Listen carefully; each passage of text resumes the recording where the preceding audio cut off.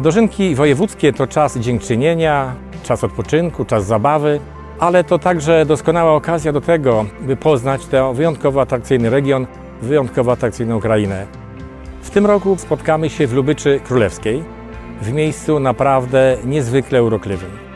Jak co roku podsumujemy ten sezon podczas dożynek wojewódzkich.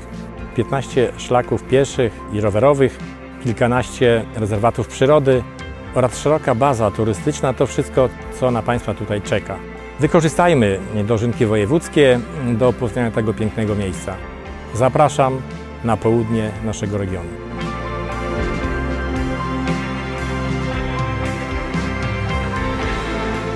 Dożynki, jako uroczystość o wieloletniej tradycji, są symbolem szacunku dla ciężkiej pracy rolnika oraz stanowią wyraz wdzięczności za jego codzienne zmagania. Dożynkowe święto to w polskiej tradycji czas radości i podziękowań. Panu Bogu za plony i ludziom za trud. Są również okazją do zaprezentowania dorobku rolniczego społeczeństwa z naszego regionu, jego różnorodności i niezwykle bogatego dziedzictwa kulturowego. Serdecznie zapraszam na dożynki wojewódzkie 12 września do Lubyczy Królewskiej, powiat tomaszowski.